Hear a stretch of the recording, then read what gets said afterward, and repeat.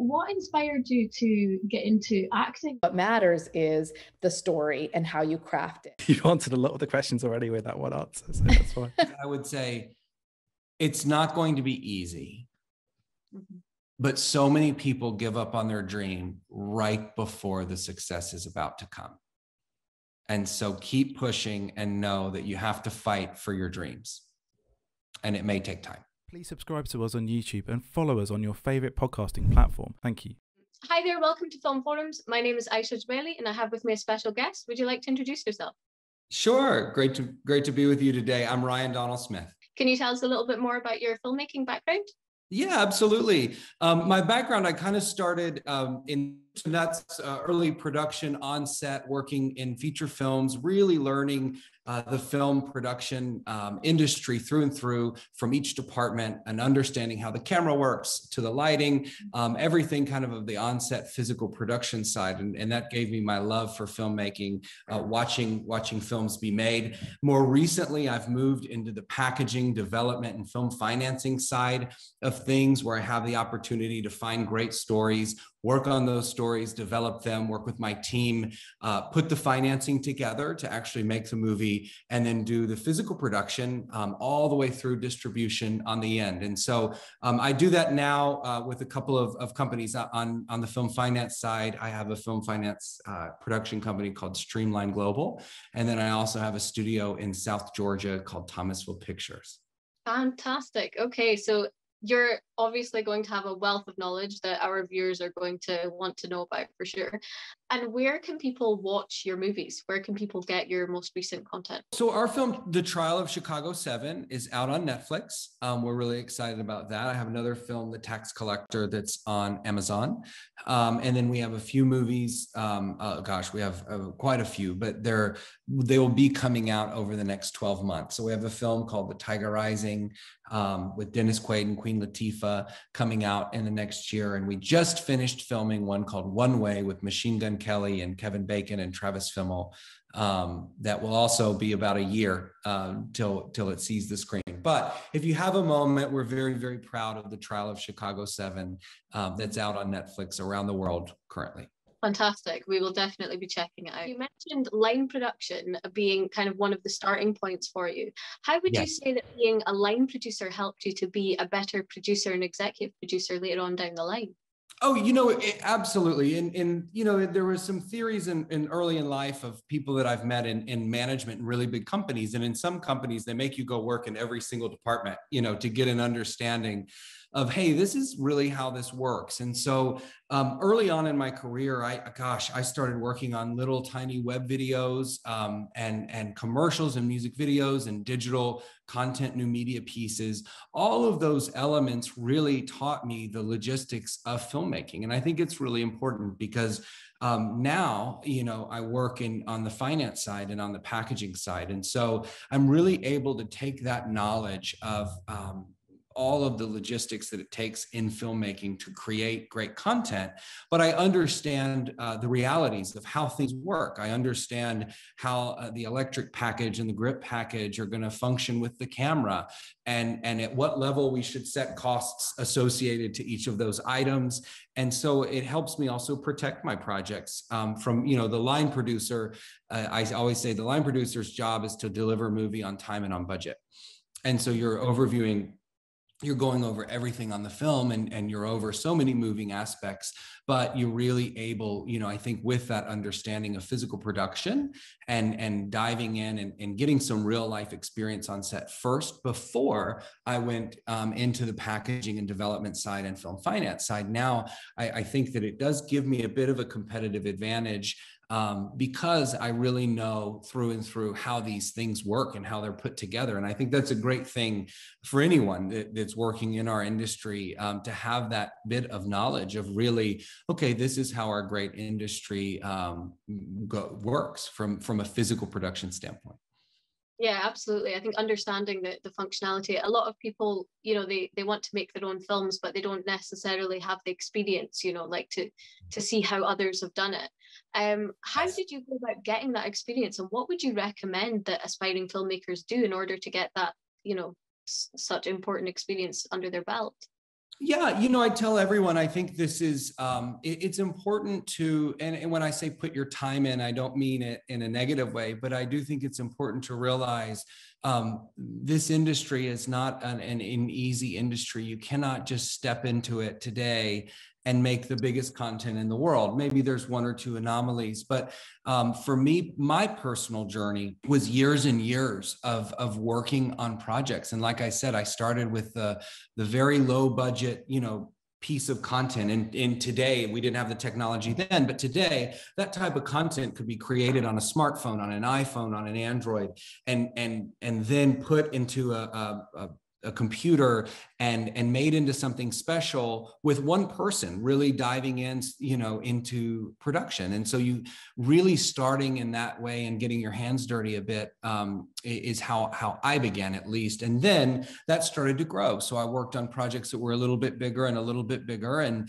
um, i call it work for hire side. So on the more on the commercial side people paid me to produce for them. So whether it be a brand or you know a commercial for someone a music video for someone um, my company was paid to create that media to create that work for them.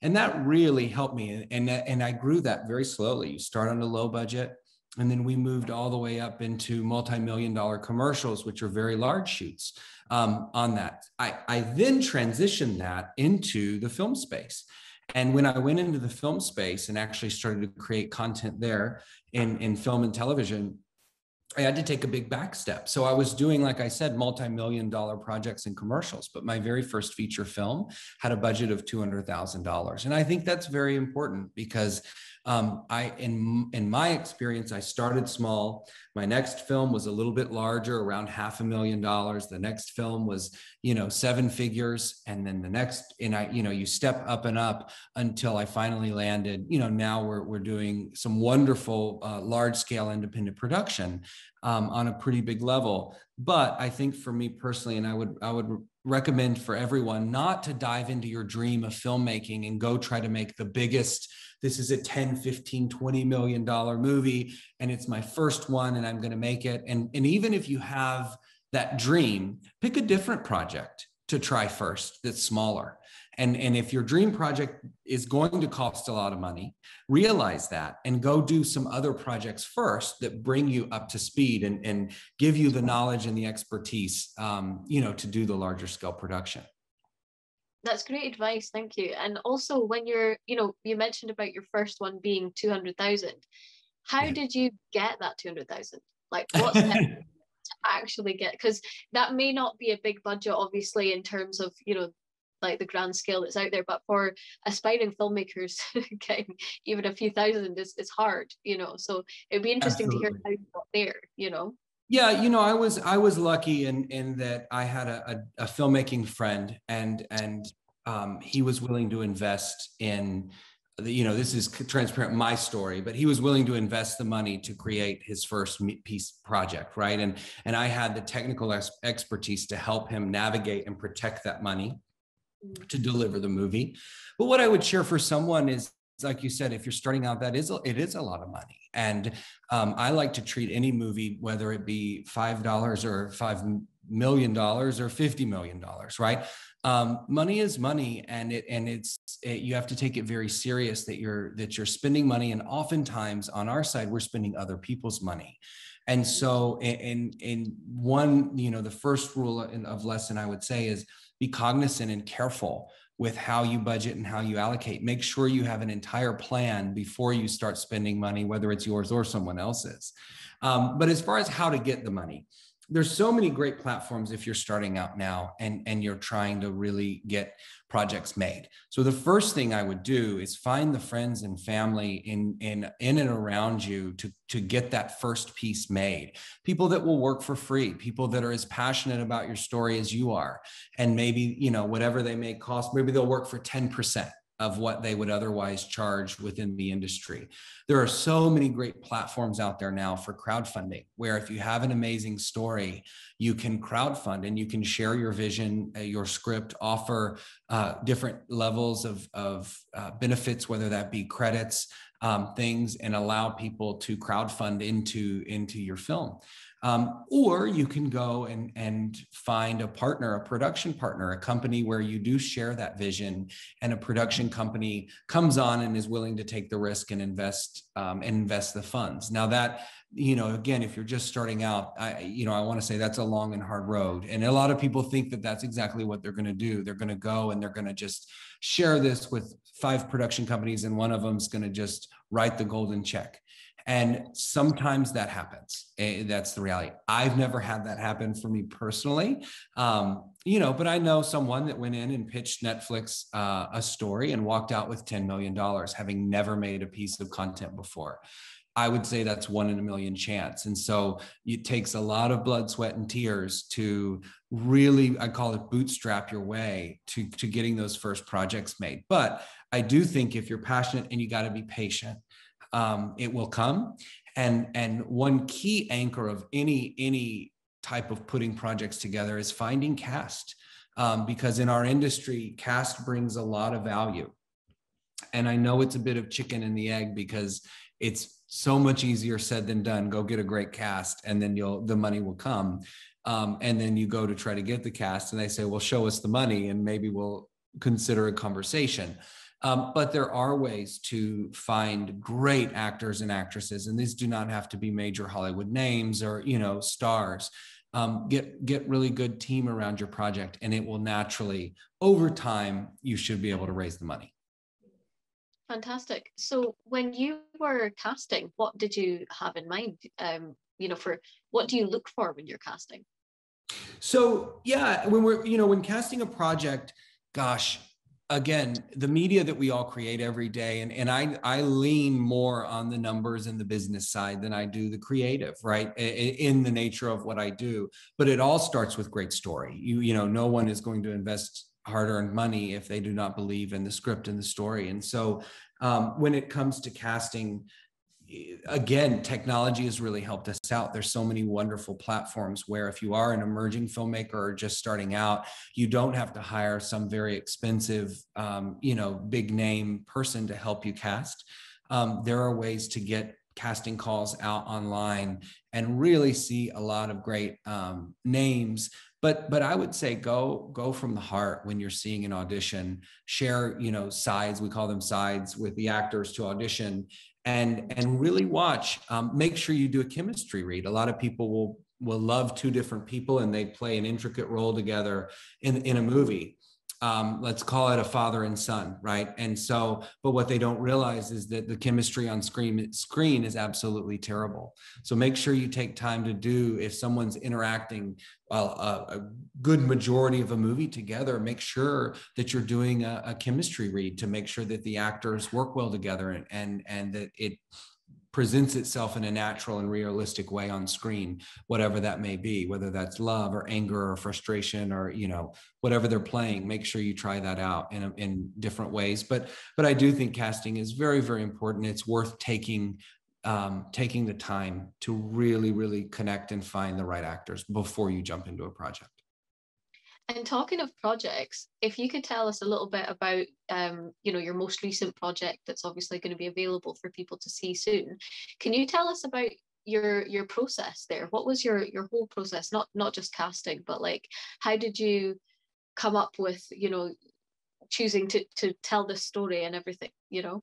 Yeah, so so uh, you know, I'll give you the example of the of the film we're going into production on right now. We've done quite a few. We've been very lucky to have a lot of projects in motion currently, and so right now I'm working on a, a project, a film project called Supercell, and um, and for specifically with this one, um, Jamie Winterstern, our director, uh, is is a young emerging first time director. So that you know is an exciting uh, exciting opportunity for us. And at the same time we have to put protections in place to make sure that that we empower him to do an amazing job on the film. And we know that he's going to do a wonderful job. We cast alec baldwin um, in the film and so we are we are quickly moving into the pre-production phase where we start to put together the rest of the elements. And so what we're doing, I'm actually in my office in Georgia. Uh, we film a lot of our projects in in Georgia. It's a wonderful um, you know state where there's tons and tons of incentives to be here. So speaking a bit to the financial side, Um, Jamie has had created this great story, developed it into a script. I partnered with a, a good friend of mine, Ryan Winterstern, who had uh, really what I called packaged the movie. He put together the script and the story and connected a sales company. A sales company will oftentimes help you get foreign pre sales or get connections so that you can cash flow your movie. Um, and so Highland Film Group came on board for with us and um, we attached Alec Baldwin, and then Highland Film Group took the film to market and sold, um, which was which was what allowed us to cash flow the movie. Is that our our sales agency sold international territories around the world, um, and so we we've actually locked in pretty much worldwide distribution prior to even making the film, which we're very excited about.